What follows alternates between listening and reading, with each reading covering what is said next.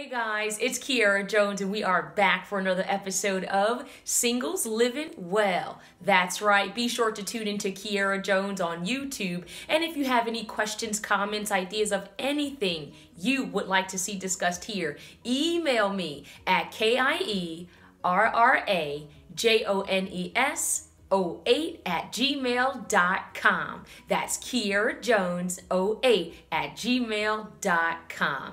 All right, singles, it is Wednesday, and we're still focusing on going the extra mile when it comes to our goals and our dreams. Going the extra mile, singles, is about getting up when you don't feel like it, it's about staying up later when you know you're getting tired. It means going beyond, going further than what you feel like doing, right? Someone tells you to do something, you just don't feel like it. Going the extra mile is doing it anyway. Why? Because these goals and these dreams belong to you. Again, your name is on these goals and these dreams.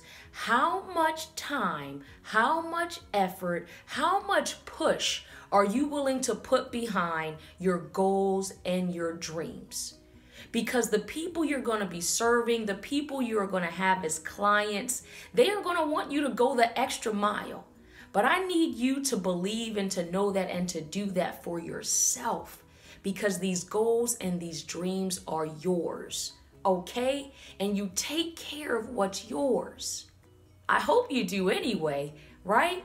There's it, it takes nurturing, it takes planning, it takes time.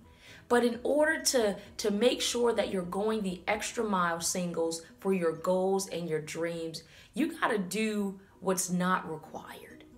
You got to do what's beyond the expectation, right? Don't just do the bare minimum. Don't just do, again, when you feel like just throwing in the towel, when you feel like just calling it quits. Think about your why in the process of going the extra mile. You must have sustainability. Come on, guys. I know it's in you. I know you have the will to do it. Okay? Let's go the extra mile for our goals and our dreams today. All right? Even when you don't feel like it, push through. Remember, going the extra mile, it's about your goals and your dreams that belong to you. Okay? You go the extra mile for everyone and everything else. How about going the extra mile for your goals and your dreams for once? Okay? Let's do that today. And remember, guys, be sure to tune into Kierra Jones on YouTube. And if you have any questions, comments, ideas of anything you would like to see discussed here, email me at kierrajones08 at gmail.com. See you soon.